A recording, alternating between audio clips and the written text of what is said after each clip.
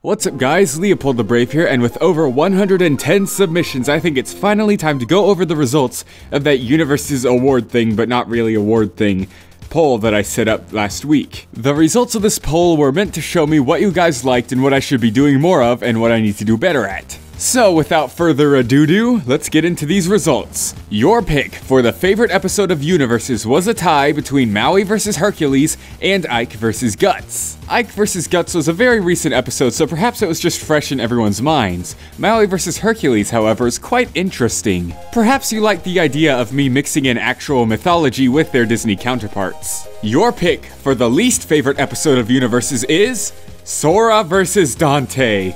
Aw, I mean, is it really that dated? It was the first episode, guys. Come on. I don't really have that much to say about that one, though.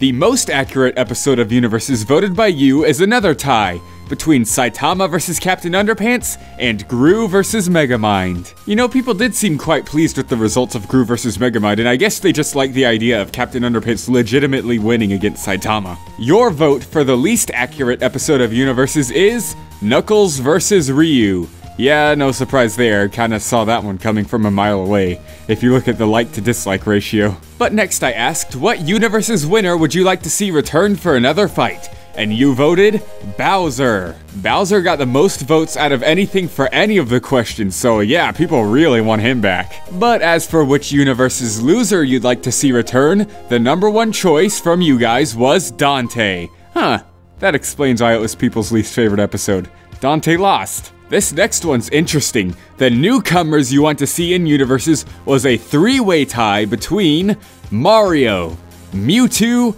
and Naruto. Now for your most wanted universes matchup, there was no result that got more votes than the others. You all had different ideas and it was really cool, but there was one character that showed up quite a number of times. KO versus Deku versus Kid Goku versus Ryu versus Gon. They just want this kid to fight everyone, so I'll be sure to use him sometime. But now for the last category, which versus debater should I collab with? Everyone say it with me now, Animation Rewind. He obviously got a landslide in the votes, but a close second was Brandon Gaming VA. I'll be sure to take all these results into consideration. Thank you for participating in the poll.